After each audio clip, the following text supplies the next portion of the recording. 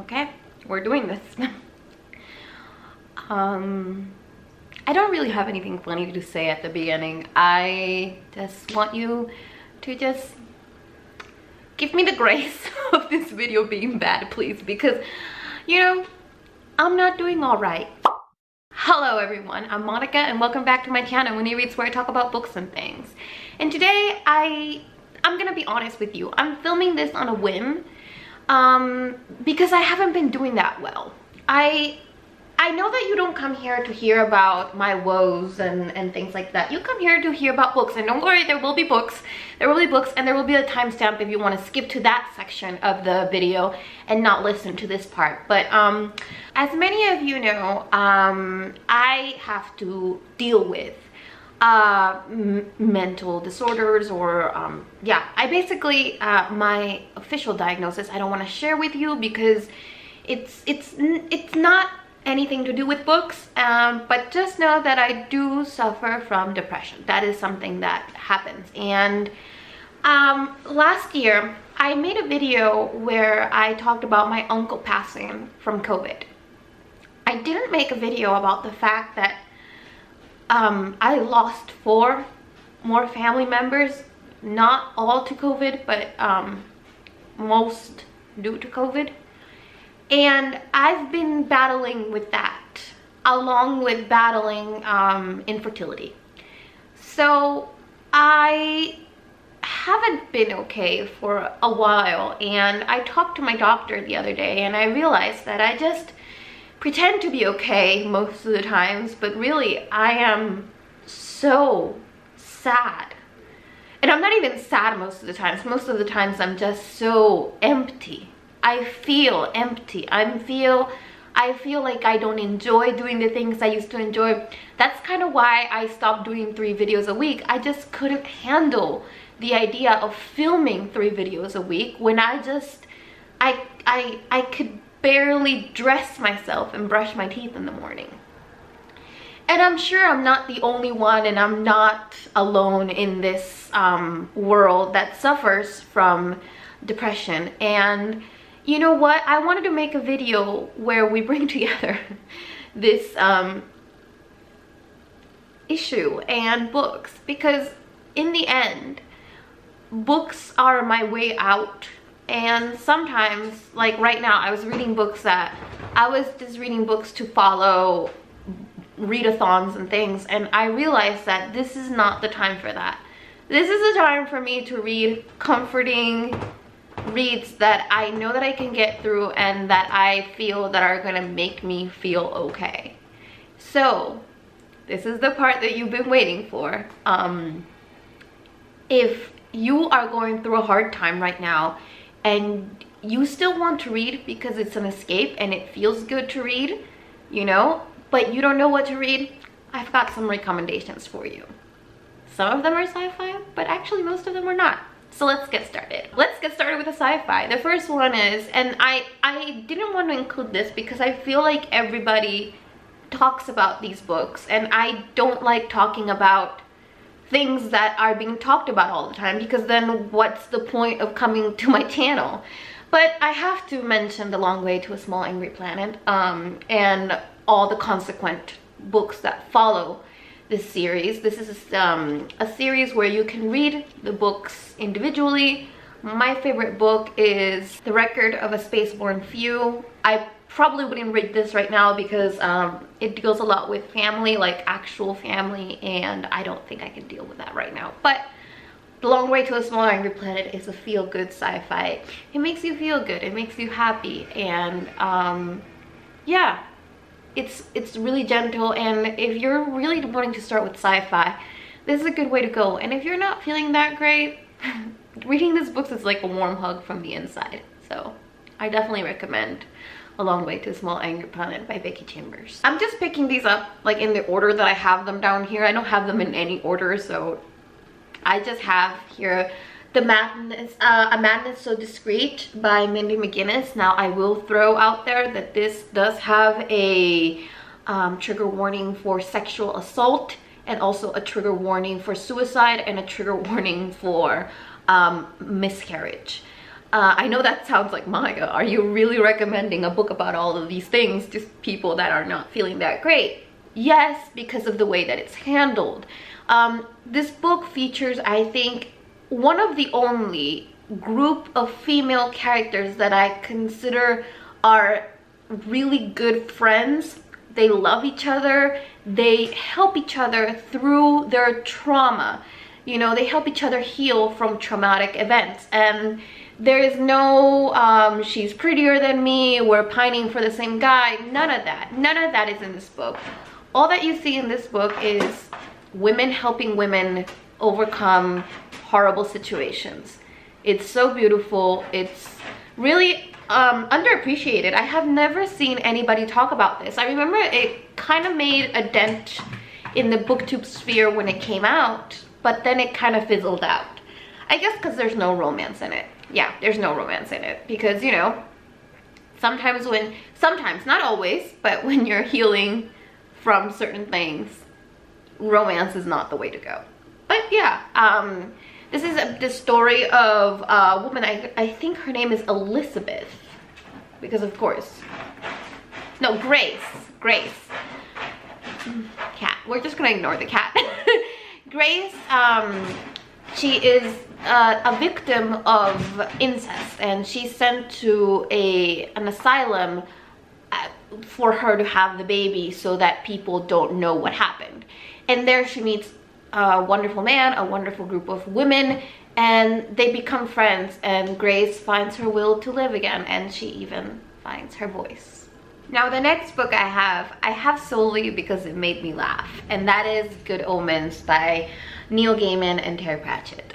This book is just a funny book about the end of the world.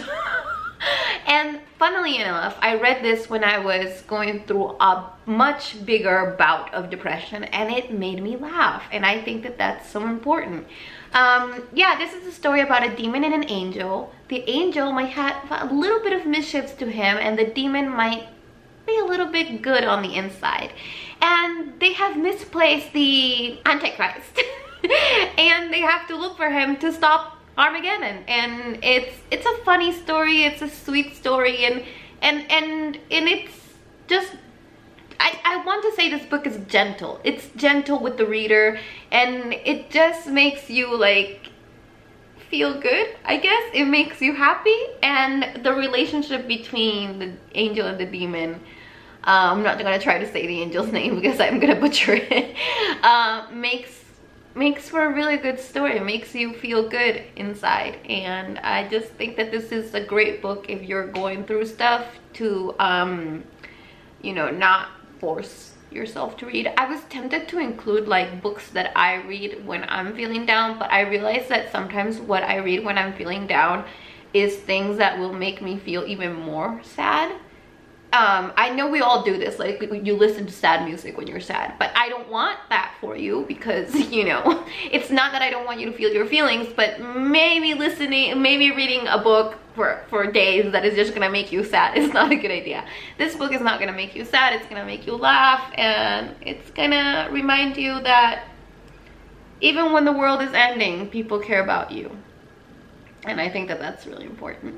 Okay, one that I have here that, um, again, I don't see many people talking about is um, Watch Over Me by Nina LaCour. Now, I've talked about this book before. Again, I don't want to be too repetitive, but this book is about a girl named Mila. Mila uh, basically aged out of the foster care system and she gets taken to a farm.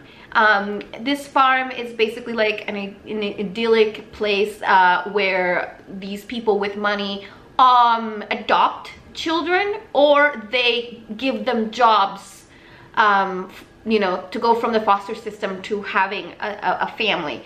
And you know the children after you know after they're 18 19 um, they become tutors to the other children that live in the house. And yeah it's a really beautiful story. There are ghosts in here but the ghosts are metaphors. I don't think that that's a spoiler. I mean it's pretty obvious from the moment you see that everybody sees the ghosts. Um, and you just learn that no matter how hard it is no matter how hard it gets you can do this. You can do this and things are gonna be okay. That's that's the theme of my haul. like things are gonna be okay. And this does um, deal with PTSD. So if you are somebody that's going through that and you want to read about somebody going through PTSD, and I think it was done in a really like um, a really respectful way, I think that this is a book for you. Gosh, I'm gonna be honest with you. I'm like really scared to post this video because I'm being like really raw and like my emotions are like, I don't know. I if you see this video, um, let me know. Like, let me know how you feel about people being honest about mental health and stuff on booktube. But yeah. Going off of Watch Over Me, I think Nowhere on Earth by Nick Lake, which is also a soft sci-fi, is a great book to read um, when you're feeling down. Because again, um, it, it, it's a reminder that no matter how alone you feel, you really aren't alone. That's just your mind and, and yourself convincing yourself that you are alone. But really, you, wor you are worth so much. And maybe sometimes we're scared to open up to the right people because we think that they're gonna judge us or that they're not gonna believe us or something. And this book deals with all of that. I think this is a wonderful book. This is the book about a young woman who feels really disconnected from her parents from her life. She's going through some stuff at school and one day she finds an alien and she makes her she makes it her mission to send him home. And along the way she realizes that maybe her parents aren't as bad as she thinks they are. I'm not saying that you know let's let's let's put the caveat that sometimes parents are bad but in this case they're not. And that she does have the ability to make friends and that she really isn't alone in the universe. I think it's a really nice way to like say we're not alone in the universe because there's aliens but also she's not alone because she isn't alone. She just has to speak up and um, be heard so it's a beautiful book i really recommend it now here's another one that made me smile like i think the next two are books that made me smile actually the next three um the Disasters by M.K. England. This is a sci-fi. This is more of a hard sci-fi, so like, and it's kind of a space opera, but it's a YA space opera, and it features a character, oh, here's my little note from the person that gave it to me. You know who you are. um, it, this is a story about a group of wash-ups from uh, the prestigious uh, space academy that they wanted to be a part of.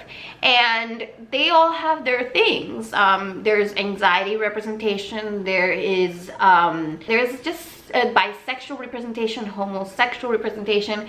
But you know what? What this book has overall it's a great time. These guys make such a great group. Um, i think this like subverses the genre a little bit you know like that whole like oh my god we almost died let's kiss. Like they don't do that. On the contrary they're like whoa not the moment you know? And it's just a fun book and i feel like maybe if you're feeling down you want to read something fun and exciting and and to remember yeah to remember that life is fun and exciting even if we're not you know being chased by the space police. And you know it's it's nice to know that regardless of your intelligence or or or whatever you can still have hardships because i think that there's this idea that it, the more intelligent you are or the more like talented at stuff you are the more like you are and the more and like the least likely you are to have any problems this book says otherwise and i really enjoyed that all right i'm gonna go with the last uh, fiction book that I have and that is Project Hail Mary by Andy Weir. Now you all know that I just recently read Project Hail Mary by Andy Weir and I really really loved it. I loved um, I loved the main character and I loved his struggle, his um, mental struggles with what's going on. I love how he accepts his fate and at the same time never loses hope that there might be something more. And I just really think that this book made me laugh. I, there were parts where I was just like laughing out loud. And again, sometimes if you want to read sad books when you're sad, I understand. But personally, I don't want to read sad books when I'm sad. Especially when I'm this level of sad where, you know, getting out of bed in the morning has been hard. Like, I'm not gonna lie, I got out of bed today at 1 p.m. and the only reason I did was because my husband's coming home at 3 and I don't want him to find me in bed because he's gonna get really like worried about me. So, enough of that. Project Hail Mary by Andy Weir tells the story of this um, science teacher who finds himself in a um, spaceship heading towards somewhere not in our galaxy and he doesn't know why he's there and you get to find out with him. And it's a great story and I just think it's a lot of fun. Andy Weir is a lot of fun. I recommend this over The Martian for the fun aspect because I think that the character Grace his name is his name is something Grace but I always call him Grace um, is such a hopeful person hopeful I mean, Mark Watney is completely hopeful, but Mark Watney is hopeful in a way where he's like, I'm gonna science this, I'm gonna do it. Instead, this guy's like, I think I can, I probably do something. And I, I mean, how many of us have felt that way sometimes like, I don't know what I'm doing, but I'm gonna try. So um, I think that that qualifies Project Hail Mary for this. I don't know book recommendation. Now I have two books here that might not be your cup of tea because they're nonfiction, but they're nonfiction that really helped me. So maybe if you have wanted to get to nonfiction, it'll help you. And you all know, you all know if you've been with me for a while, I suffer from thalassophobia, which is extreme fear of fish or um, yeah, fish and anything that swims basically. And I have here two books. One of them is The Soul of an Octopus by Sy Montgomery. This book just blew my mind. I This is one of my favorite books of all time. This tells the story about how Sy Montgomery, a journalist, meets octopus. You know it's octopuses, not octopi.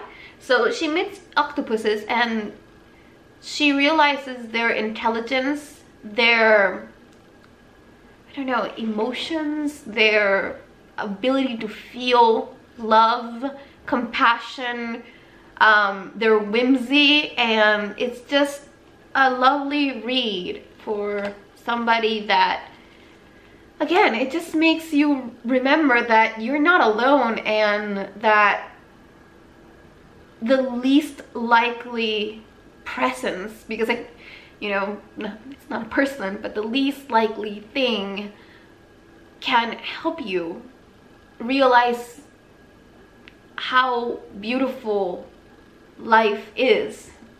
I don't I don't know how how else to put it. This is just a memoir of her and and finding out more about octopuses. And I just think it's really beautiful. And if you are wanting to read um, a um what's it called? Nonfiction that reads like fiction or that reads like a story more than like like just facts then this one's it. And along with that i have spying on whales um, by nick Pyenson. this story made me really realize how not alone we are in this planet how we don't realize how important certain things are, including our connection to nature, connection to other animals. Again, this is just like um, this book. It's just finding out more about animals and that brings me peace. That, that brings me joy. I'm, I'm an animal lover. Maybe if you're not an animal lover, this would not be for you. But yeah, it's a gentle book, it's a soft book. There's a lot of science in it that I didn't understand, but I do understand whales loving other whales and wanting to survive. and wanting to be free. Who doesn't love that? Alright, those are the books that I would recommend that you read if you're feeling down right now. And if you are, don't be scared to reach out to me. Um, I am always available um, on my comments, uh, my Twitter, which is always linked in the description box. And yeah, I hope you have a wonderful day. Filming this has made me feel better because I feel that I have accomplished something for today. And I'll see you in another galaxy far, far away. Bye.